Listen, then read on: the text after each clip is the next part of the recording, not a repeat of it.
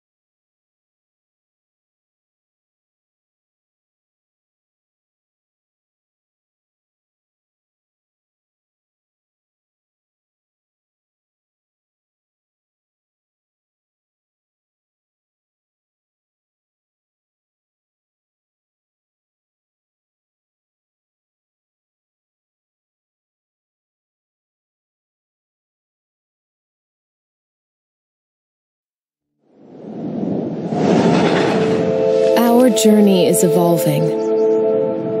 Each day, we take another step forward on our shared path.